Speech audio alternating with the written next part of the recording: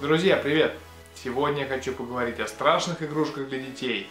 Порассуждаю, стоит ли их покупать или нет. Сегодня на прилавках магазинов представлено огромное разнообразие различных игрушек, и в том числе большое количество страшных.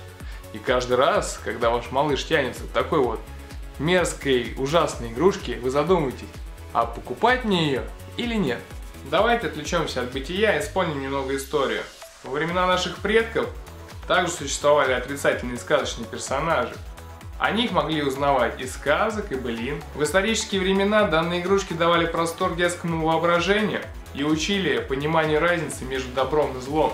К сожалению, в наше время такого не происходит, и эти игрушки создаются в первую очередь для привлечения внимания. Попробую разобраться в разнице между классическими страшилищами и современными.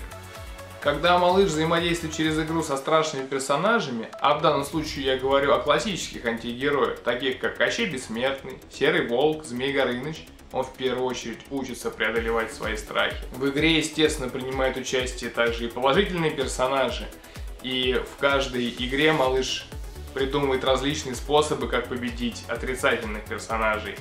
И он со временем начинает понимать, что плохого персонажа можно победить не только силой, но и хитростью, смекалкой. Кроме того, когда ребенок обращается к классическим персонажам, у него не ставит вопрос, кто является героем, а кто антигероем. Антигерои, как правило, представляют собой собирательные образы плохих черт человека. И изображены они мерзкими, страшными, при этом герои всегда красивые, смелые, сильные, умные и так далее. То есть, например, смекалистый воин и трусливый Кощей Бессмертный. То есть каждая игрушка несет в себе собирательный образ персонажей на основе характеров людей. Давайте обратимся к современным игрушкам. Сразу же подчеркну, что страшными могут быть не только злодеи, но и положительные герои. Возьмем, например, Бэтмена. Человек-летучая мышь, мрачный, суровый, ходит всегда в черном.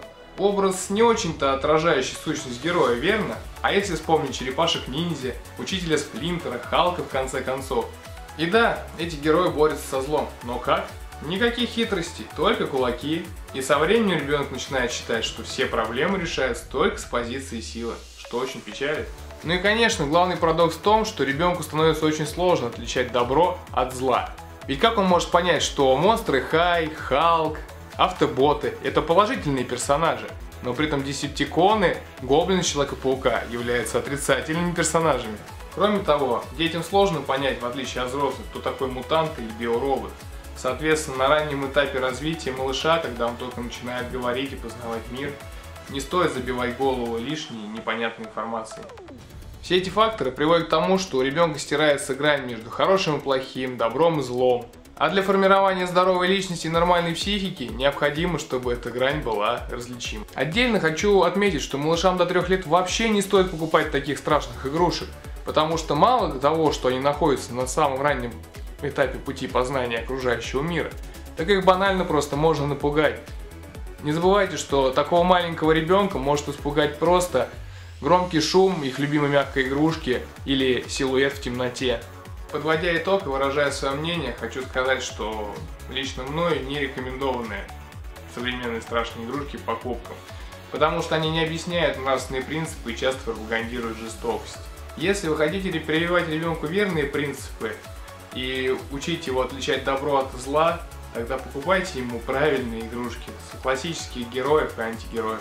Ставьте пальчики вверх этому видео, оставляйте полезные комментарии, делитесь роликом с друзьями и, конечно, подписывайтесь на канал. Ну а я с вами прощаюсь, впереди еще много всего интересного. Всем добрых игрушек, друзья. Пока!